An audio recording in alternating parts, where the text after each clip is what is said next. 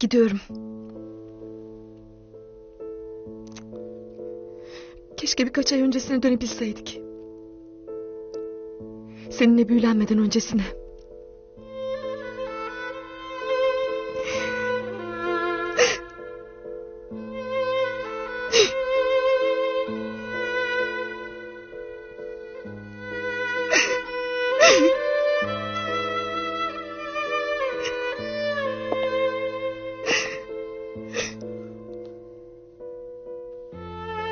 Cavidan.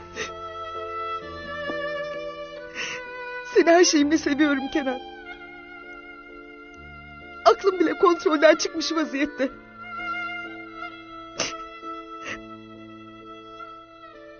Ben... Ben hiç bu kadar dağılmadım. Bu kadar... Bu kadar kendimi unutmadım.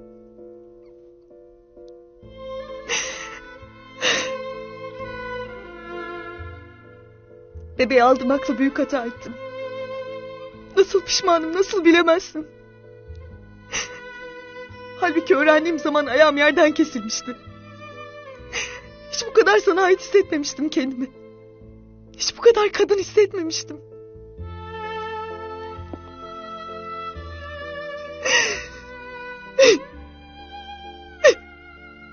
Zaten ondan bu hırçınlığım.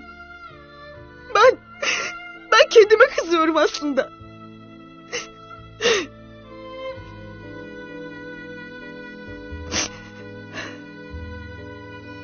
Bir süre bana izin ver. Bu ayrılık kararını kimse bilmesin. Şimdi çevrede hemen boşandılar diye konuşulmasını istemiyorum. Zaten bu senin konser trafiğini etkiler. Hemen yaptığın işin önüne geçer. Konserlerin başarısından çok bunu konuşmaya başlarlar. Öfkeyle bir karar vermeyelim. Sonuçlarından ikimiz de etkileniriz. Kabul edersen birkaç ay erteleyelim bu boşanma konusunu.